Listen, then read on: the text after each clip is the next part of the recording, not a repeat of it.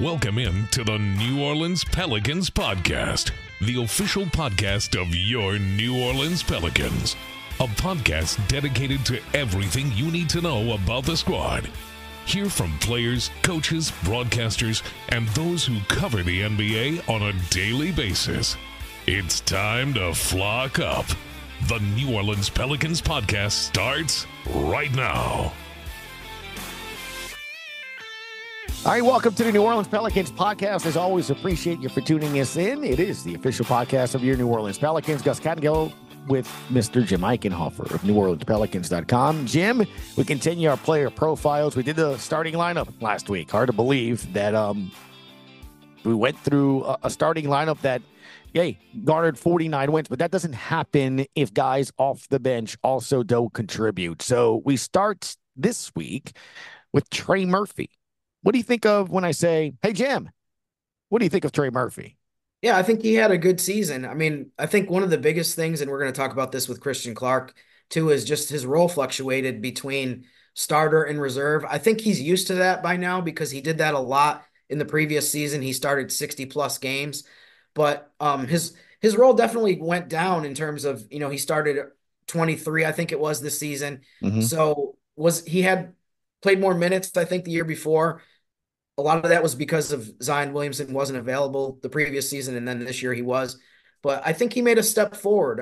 I, I don't think it was necessarily as big as a, a, step as maybe he wanted to, but a lot of that was because of his knee injury. So I'm really looking forward to the next season for him, hopefully having a, a, a healthy offseason, be able to start hit the ground running in October in training camp and go from there because I believe in this guy and his potential and what he's going to be able to do in the future.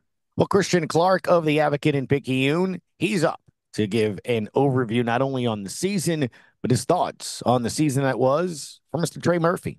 All right, Tom, now to welcome in our guest, Mr. Christian Clark of the Advocate in the Picayune, covers your New Orleans Pelicans and the NBA as we continue our player profiles. Last week, Jim Eichenhofer, we did the starting lineup.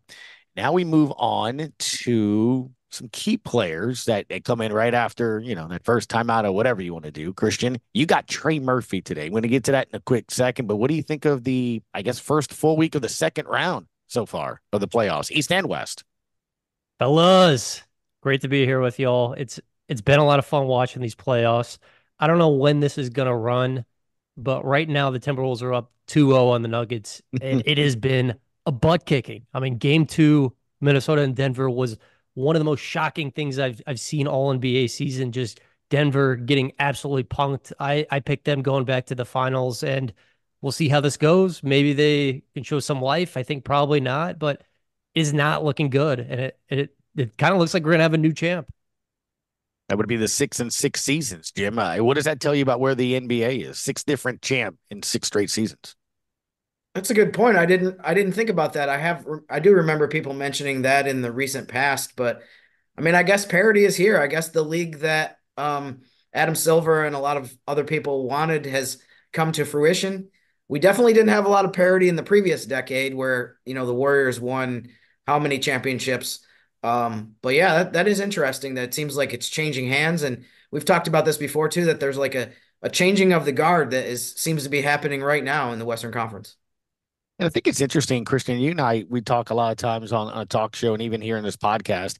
And in parity, I think sometimes fans sometimes listen to it and be like, oh, it's just, it's not very good, right? I mean, there's so many different teams that are just kind of on the level. But I think Jim brings up a good point. I, I look at the West, it's just ridiculous, right? You saw this past week the, the rankings for Defensive Player of the Year. You have a handful of Western Conference players there, the candidates for MVP they were all Western Conference. and then you look, and Jim tweeted this uh, earlier last week where he goes, Hey, the two teams that were leading currently, and he tweeted this on Tuesday night after that, that butt kicking, uh, the eighth and 10th seed last year are currently, you know, leading in the Western Conference playoffs right now. So that just kind of gives you an idea. So, you know, there it's parity, but it's like it's it's a very competitive, I guess, league right now, if that makes any sense. Oh, I mean, one hundred percent. Being in being in the Western Conference is an absolute bloodbath. I mean, players, David Griffin, all noted, forty nine wins, got you the third seed in the East this year. Um, you know, very valid point. Like, imagine, imagine that Milwaukee team and all that they went through if they had endured that playing in the Western Conference. Mm. And, you know, I think there is parity, but one of the other lessons from the playoffs is that I felt like we, you know, basketball fans thought that, well, the regular season doesn't matter as much now as it used to. And when you look at the teams in the West really having playoff success, it's the teams that finished one, two, three in the West. I mean, it looks like Denver is going to go out, but Oklahoma City and Minnesota treated the regular season very, very seriously, finished atop the conference and you're near the top of the conference and, you know, look like the best teams in the NBA along with Boston right now. What do you think of the the this the Pell season overall, just as an overview? We've been asking this to all our different guests here as well. Just if, I, I I've been under a rock. I couldn't watch whatever reason. I'm on the moon. Christian, season looks like it's over the regular season. What what do you make of the Pels 23-24 season? Yeah, I mean, I, I, felt like 49 wins, that was positive, a step in the right direction. I think their best two players consistently being available this season was a huge win. I mean, it like two seasons before that were almost lost seasons just because of the amount of time that that Zion Williamson and Brandon Ingram missed. So for the, those two guys to be on the floor 64 and seven games collectively. Like that was great to see. I thought there was there was very little drama. That was something, you know, we we kind of went through in seasons past, like little drama during the regular season. You know, I just wish if Zion was going to tweak his hamstring and, and miss two weeks, it would have been great if that had happened in in January as opposed to right when the playoffs were starting. Um, but you know, as a it ended in a in a really disappointing fashion, and I understand frustration about it. But I think, you know, the the months that came before that were for the most part pretty good. Christian, kind of switching gears to the player that we're going to focus on today, Trey Murphy. Um, we, we've all nothing we've been asking a lot of the guests that have come in, people that are really close to the team that cover it on a regular basis, is just kind of reflecting on before we get into the specifics of the basketball and on the court can you kind of discuss Trey Murphy as a as a person, as kind of like a you know his professionalism, his attitude, his approach? Just seems like a fun guy to be around. I know that kind of I'm sure a lot of fans see that in the interviews he's done and interactions that he has they have with him. But I mean, what how do you describe him as far as some of those areas that I mentioned? Yeah, like a, a hilarious guy. I don't even think I can, you know, sit say a lot of the jokes uh, uh, on this podcast or anything like that, but a genuinely, you know, funny guy, someone you'd want to hang out with. I think, you know, a lot of times NBA players, it's like, okay, we're laughing at your jokes because you play in the NBA, but you're not yeah. really that funny. But mm-hmm. I think Trey is is actually funny. Um, you know, I think a guy who uh gets some fits off. A lot of a lot of leather this year. I mean, how many mm. how many cows had to die to dress Trey Murphy this year? I love that. So it's all about the fits, man. You, you, gotta you gotta look at the part to to do that. Hopefully, it's synthetic, man. but you bring up it was interesting that I was one of the first things that you brought up in terms of uh, I, I guess that attitude and and having that um that joy. And I say that word specifically because Christian almost felt like that was a word that we heard a ton of having joy, playing with joy, finding the joy, um, being happy about basketball, things that nature. Is, he one of those players that not only was it important to have joy and play with joy, but was required or or was asked to bring joy to the facility? Yeah, for sure. I mean, you know, you could you could he was Trey Murphy was like right there shooting on the same basket after practice every day with Jose Alvarado. And you know, whether the Pelicans won, whether they lost, like those two guys were talking crap to each other, having fun, like going through their rot- their routine and and you need guys like that who who have, you know, that that positive upbeat attitude. Um, Trey Murphy is probably a guy who like if you look around the NBA could play a bigger role on a lot of teams. And and with this team when everyone is healthy, he primarily came off the bench and you know, through through all that, like maintained a really, really good attitude. So I think that's like a, huge positive from him of I'm sure there was part of him who, you know, thought, okay, I'm ready for a bigger role at, at this point in my career, especially after having a, a fantastic second season, but still, you know, being a, a positive guy and a great teammate we're definitely going to get into next season in terms of what it, it's going to mean for Trey and some of the possibilities of what he could do. Um, but kind of going back to the season that was just completed, how did you see the way that he performed? I mean, obviously he missed the biggest, a big chunk of the season at the beginning with a knee injury. And he mentioned how in exit interviews, this is the first time that he's ever had any kind of significant injury. But I mean, what, what did you see from him just from his performance over the course of the season?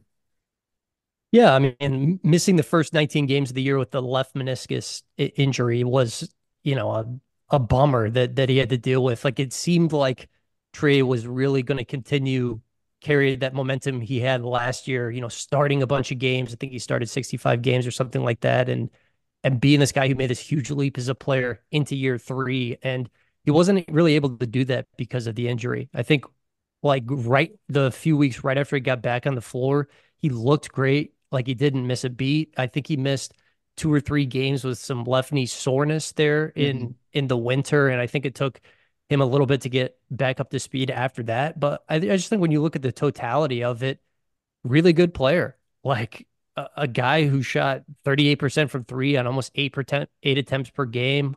I mean, I, I think he proved I am a high volume three point guy who's incredibly accurate and and that is here to stay. And I think he's a guy who would start in a lot of NBA teams. And I think, you know, the, those are going to be questions that that people around the team and people in the team are asking more and more as as we get farther into his career as this guy's starter. Yeah, you know, I, I don't like to make predictions, but I feel somewhat confident that, you know, the 38% that you mentioned that he shot from three is actually going to be low when you look from season to season of his career that we'll, we'll look back on it and say like, man, what, what happened to him? He only shot 38% that year, but it's still a good number. And like you said, especially on high volume, when you're taking as many threes as he does to, to be able to shoot that well. Um, you know, you mentioned how it's it's very possible that his role will expand next season, and that could be a big factor in the the team's success or how much they improve next year. What do you think are some of the the key things or areas where you think either he can work on to get better or things that you'll see more from him with him just being on the court more? Yeah, I think the the things that he should focus on this is getting getting better with the ball in his hands, and I don't think means going out there on the floor and like trying to do Allen Iverson crossover combinations or anything like that, but just getting better at the simple stuff, attacking in straight lines, getting a crossover, just becoming a little bit more comfortable handling the ball. Not that we're gonna they're gonna ask him to like initiate 30 possessions per game or anything next year. And then, you know, I think just continuing to to grow on on the defensive end. Um, you know, he's a guy who is kind of a sneaky steals and blocks guy. Like he is pretty long. He's got fairly good instincts. So like he's done a pretty good job of that. But you know, just guarding one on one, the Pelicans like to switch defensively. So like being able to hold up when he gets switched on to ball handlers at times. And I think when you look at that playoff series, I loved what he did defensively in game one. Like there was a couple possessions where it was him and Shai, and he did a nice job on Shai. And then I thought he lost that that momentum he had on the defensive end as the series went along. Um, so those are the, those are the two things I look at with Trey. There's been discussion, or there was a, a lot of discussion during exit interviews, and the the night of the the elimination game against OKC, as well as you know the the days after that, as far as um, getting a pure point guard or more basketball IQ, more basketball intelligence. Those were a couple of the terms that David Griffin used. Um, how much of you think what the Pelicans can do with the rest of the roster, maybe, or addressing some of those areas, can affect Trey in terms of the shot, the kind of shots that he gets. Um, to me, it just seemed like part of why he shot a little bit lower percentage this season beyond the injuries was you know and I don't have any scientific data for this but to me just from a feel it just seemed like maybe the quality of his shots was a little bit less. Like he didn't get as many catch and shoots and and wide open stuff maybe that he did the year before.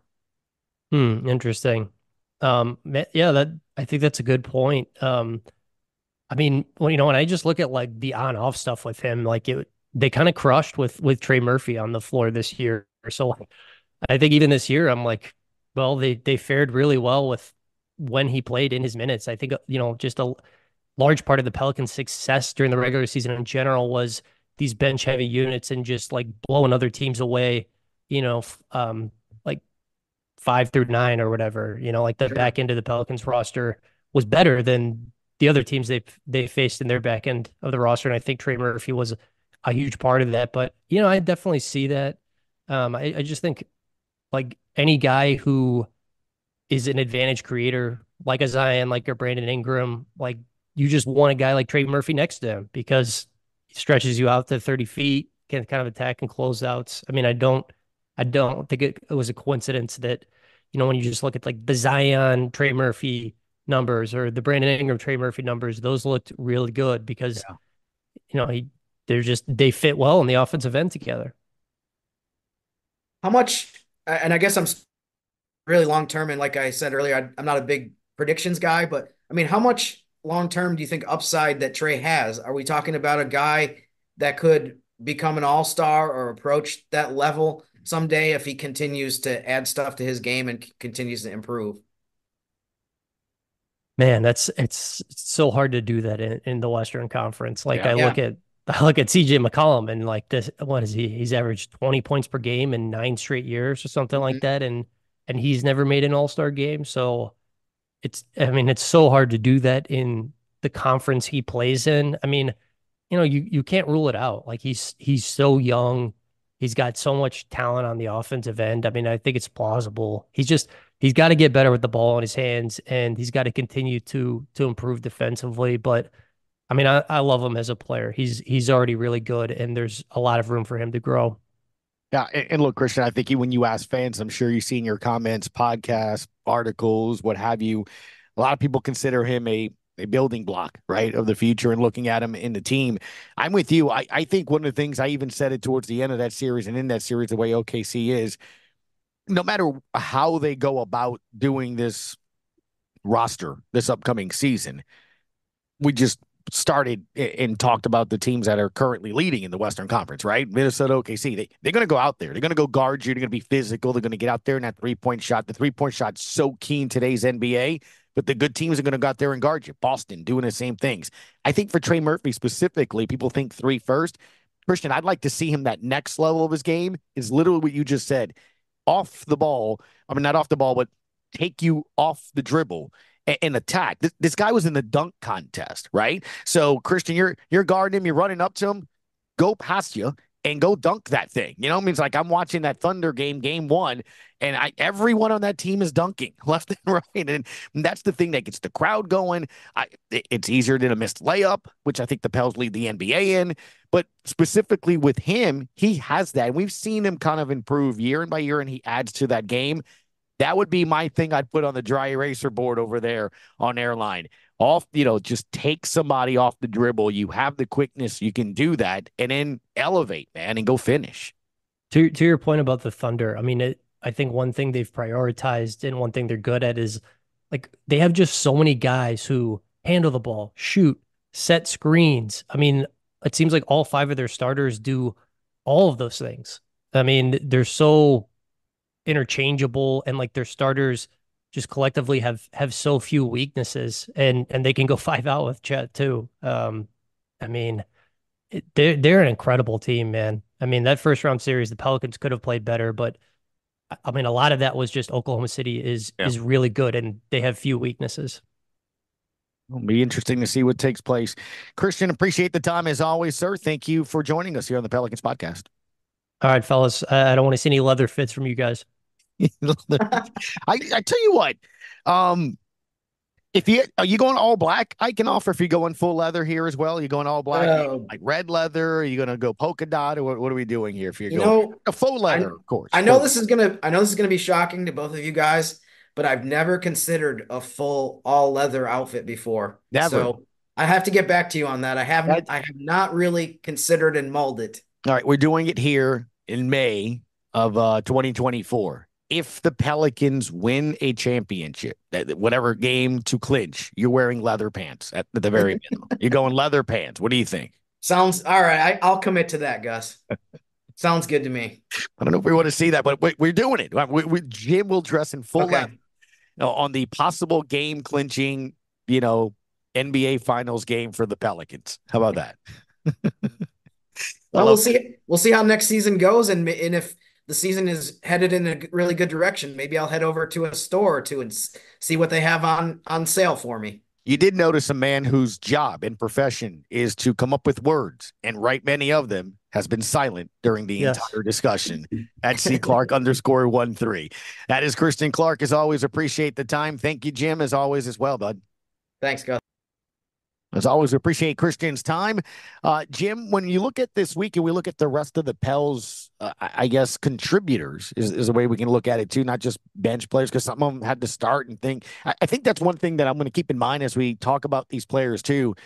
Basically, just that's the way the game is. But a lot of these players have had to start. And Trey Murphy is one of those guys that had to get in and was the guy that was designated to start when Brandon Ingram went down.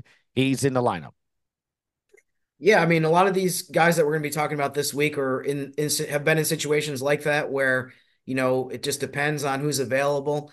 Um, unfortunately, some of the guys off the bench that we're going to be talking about also missed chunks of the season, especially November. I think October, November was really when we saw the bench get strained in terms of, um, you know, Naji Marshall was out, didn't start at the beginning of the season. Available, Jose was the same way, but I'm looking forward to over the course of the of the next few days to continue talking about the bench. Um, we haven't solidified all of the guest list yet for who we're going to have, but we're going to have Erin Summers talking about Larry Nance Jr. on Tuesday. We're going to have Jose Alvarado as the uh, the player profile on Wednesday, and then Thursday and Friday we're going to have Naji Marshall and Dyson Daniels with Mr. John DeShazier helping us um, recap those seasons, and then um, next Monday will will be the fi- the eleventh one and the final one with Jordan Hawkins, and uh, we will have Will Guillory on for that as well. So looking forward to this, and and we're we're starting to head down the home stretch, wrapping up the season here. Yeah, I'm looking forward to it. See what takes place as we get going. As always, man, appreciate the time. Jim underscore Eichenhofer is the way to follow Mister Jim Eichenhofer of New Orleans Pelicans.com. Thank you, sir. Thank you, Gus. As always. Yep, for sure. We'll see you again next time on the New Orleans Pelicans podcast. Thanks for listening to the New Orleans Pelicans podcast. Join us three times per week on Pelicans.com, the Pelicans mobile app, the iHeartRadio app, or where you get your podcast. And be sure to give Jim and Gus a follow on X at Jim underscore Eichenhofer and GCAT underscore 17. We'll see you next time, right here on the New Orleans Pelicans podcast.